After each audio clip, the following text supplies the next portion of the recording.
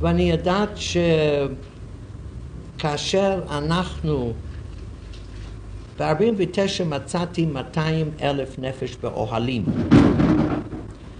ומצאתי הרבה משפחות ותיקות בארץ שחיו שתי משפחות בדירה אחת עם מטבח משותף, עם חדרי שירותים משותפים. וכאשר ב-55 בערך התחלנו את המפעל של שיכון עממי, הקריטריונים שעל פיהם יכול היה איש או משפחה יכלה להירשם לשיכון עממי, היה רק אם היא חיה שתי משפחות בדירה אחת. מי שחי באיזה דירה שהיא לבד לא יכול היה להירשם. באותו הזמן בנינו לא כמו בגבעה הצרפתית, בנינו בלוקונים, אבל בלוקון אז של שני חדרים עם מטבח, עם שירותים, בשביל משפחה ותיקה על פי המושגים ההם, שגרה עם עוד משפחה בדירה אחת, זה היה ארמון. וידענו שהבלקונים האלה זה הולך לעלייה. אה, עשינו דבר קטן. מדינה עם יסודה מיד במלחמה, החוק הראשון שהעברנו בכנסת היה חוק חינוך חובה מגיל חמש עד גיל ארבע עשרה. ועשינו עוד איזה דברים קטנים. אז אני אינני יודעת מה, מה רצית מהלל בחמישים וחמש שהוא יעשה ולא עשה כדי לקלוט את העלייה, כאשר המונים עבדו בעבודת אה, דחק, כאשר שלחנו עולים לרמלה ולוד ולא הייתה כל אפשרות של עבודה שם. ואני כמעט שבכיתי כאשר נסלל הכביש החדש, ושאמרתי, אז מה יהיה עכשיו? קומה שנייה של הכביש. מה עושים? כאשר התחלנו בדימונה עם 24 צריפים, בלי כל העבודה, מחוץ ל-24 אלה יתחילו לבנות 24 צריפים או 12 צריפים לקבוצה השנייה. מה אפשר, איך אפשר להגיד שב-55 חיכינו בשקט ובשלווה ובחוסר מס עד 71 ואז התעוררנו, יש לנו בעיה. איך אפשר להגיד את זאת? אני לא אמרתי בצורה כזאת. לא, לא אמרת בצורה כזאת, אמרת, ידענו ב-55 שיש בעיה, מדוע לא עשינו? אני מוכנה להעמיד למחקר אובייקטיבי, אובייקטיבי, סוציולוגים של כל העולם, ושיבחנו את המעשים של 25 שנה. אני אהיה האחרונה שאגיד שכל מה שעשינו בכלל אי אפשר לעשות יותר טוב. שאני אגיד שעשינו הכל בכל פינה ובכל דבר. הקמת מאות כפרים.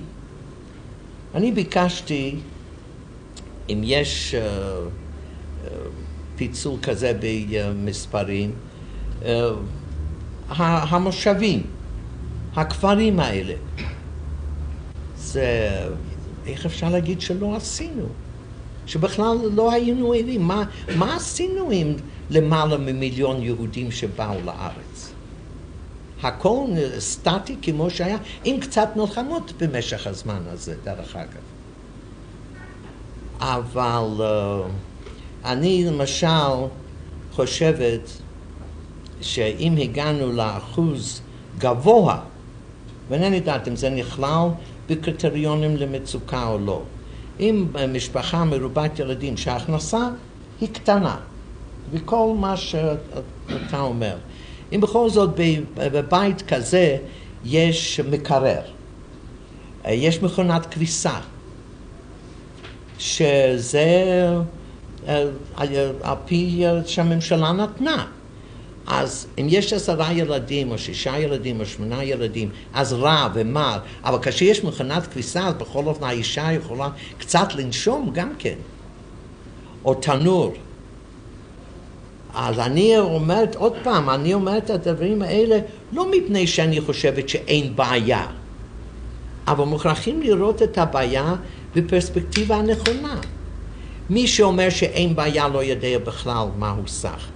מי שאומר שלא נעשה שום דבר, ורק עכשיו נתגלה לנו שיש בעיה, אז הוא גם כן אולי שלא יודע מהו סך, או איזה דבר שאני לא רוצה להגיד. אני לא אומר חלילה. Israel has done as much as can be done because of the objective circumstances. Is this a new departure? Do you see it as such? And the second part of my question is that uh, you, when accused, um, if now that uh, after this report um, will raise the priority of this particular problem. I do not think it's a new development because that would mean that uh, nothing was done in the past and that the governments that were until now, including the present government, was not conscious of this problem. One has to see what has been done in order to realize that this that we lived with this problem before. I think what happened is only one thing that uh, Dr. Katz has already said. For the first time, a committee of this kind, including all those that uh, know something, either in theory or in practice or in both, had gathered together and worked for two years very seriously and brought to our attention in an organized fashion the various facets of the problem with certain suggestions, although, as Dr. Katz said, with no, uh, the, no exact recipes. If you mix this with this, this is what you're going to get. I'm sure that uh, there will be many trials and errors, even if we follow uh, these suggestions. But for the first time, it's concentrated, let's say, in also with a scientific background.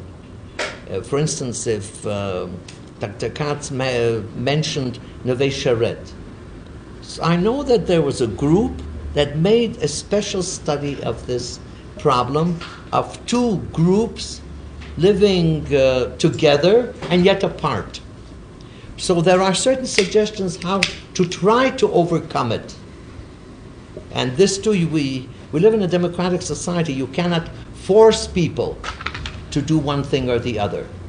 You can do everything you can in order to give them the possibilities of doing things, and then uh, in the end, it depends upon the individual of how much he's prepared to give of himself, not necessarily of material means, but goodwill and understanding and a desire to, to do things. So, uh, by no means would I call this a new uh, departure. Now, you say, why now? Because the, the means, for instance, to the various ministries that are connected with these problems, the uh, budgets have grown every year. The one advantage that we have now is that we're not faced at, with the next to war the most terrible problem, and that's unemployment. Uh, again, you people are young. I don't know whether you know from experience what unemployment means. I do. One of the first things that I had when I entered the Ministry of Labor in 49 was a demonstration of people that came from Ramla and from Lul, and they had no work, and with large families.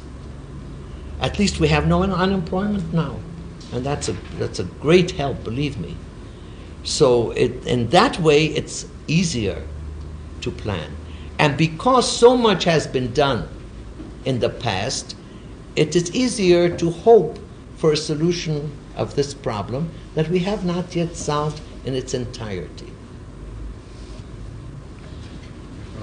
אני מבקש מכולם להישאר במקומם עד שראש הממשלה תיכנס לחדרה. תודה רבה לכם.